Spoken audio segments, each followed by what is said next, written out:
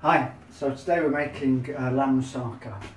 Um, so we're going to need uh, 400 grams of ground lamb, two aubergines, tin of chopped tomatoes, um, a stick of celery, three cloves of garlic, one onion, about 200 grams of potatoes, waxy potatoes. And spice wise, we're using paprika, cinnamon, and cumin, a bit of olive oil, salt, and pepper. And the topping is going to be uh, one litre of Greek yogurt, three eggs, and a little grind of grated nutmeg. Okay. Okay, so in this pan I've sweated off some celery, onion, and garlic. In this pan I've browned the lamb mince, so it's just starting to colour golden brown. I'm going to add this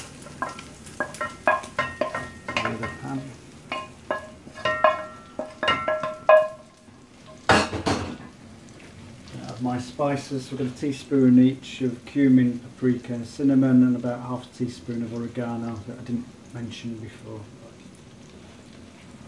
That all goes in. Give it a stir around. Make sure everything's coated.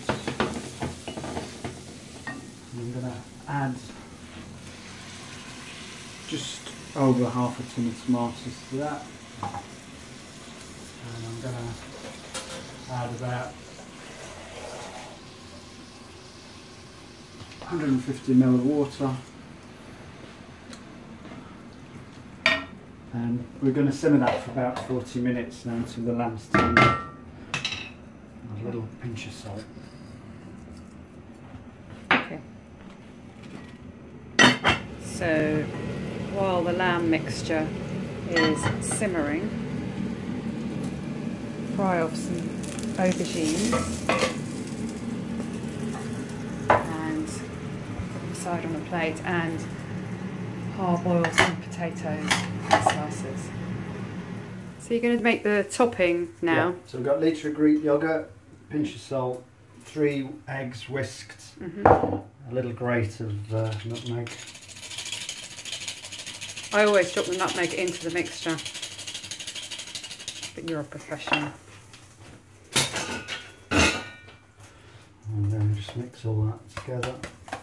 That's ready to pour over your moussaka Yeah, when it's layered up and it'll set when it's cooked. So I've started layering up. We've got a layer of potatoes on the bottom, layer of meat, layer of aubergine, layer of meat, a few more potatoes on top. Uh, and finish off with the rest of the meat. And, and then finally we'll have a layer of aubergine. And if you want it to be Turkish, put a layer of sliced tomatoes on top instead of the bechamel sauce, which is traditional. You want it to be Greek, I use either the bechamel sauce or the yogurt and whisked eggs with nutmeg, which gives it a really nice tang. So we've got our topping on, and I've just scattered a little bit of feta cheese over the top too. I'm going to whack this in the oven now. It's, it's 160, and it's going to go in there for around about 50 minutes to an hour until it's browned on top. Maybe a bit shorter or a little bit longer. Just keep checking it um, after 40 minutes.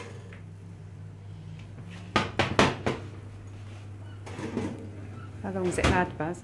So after 40 minutes, I came back and had a look, and it needed a bit of browning. So I turned the oven up to 200 degrees and gave it another 20 minutes, and that's cooked perfectly. Mm. So now we're going to cook, turn the oven off and just leave it to rest for 20 minutes or so before we serve it.